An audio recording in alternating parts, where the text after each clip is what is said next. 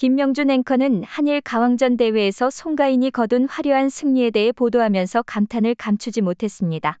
대회가 끝난 지 일주일이 지났음에도 불구하고 송가인의 인기는 여전히 식을 줄 모르고 있습니다. 그녀는 심사위원과 관객 모두를 매료시킨 놀라운 댄스 실력을 선보였습니다.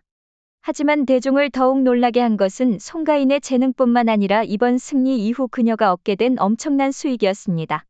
다른 나역 배우들과 비교할 때 그녀의 출연료는 상상을 초월했으며 대회 승리 후 단 일주일 만에 그녀의 수입은 10배 증가할 것으로 예상되었습니다. 어떻게 15세의 어린 소녀가 이처럼 많은 돈을 벌 수 있는지 송가인은 관객들의 마음을 사로잡으며 엔터테인먼트 업계의 작은 여왕으로 자리매김하고 있습니다. 기업들은 그녀를 귀중한 자산으로 여기고 있으며 전문적인 지원을 아끼지 않고 있습니다. 전문 경호 팀의 보호를 받으며 그녀는 어떤 상황에서도 안전하게 활동할 수 있습니다. 또한 공연 의상 선택에 있어서도 매우 신중하여 화려한 드레스부터 세련된 개인 의상에 이르기까지 무대에서는 그녀는 항상 자신감 있고 매혹적인 모습을 보여줍니다. 이제 송가인의 일정은 그 어느 때보다도 더욱 바쁩니다.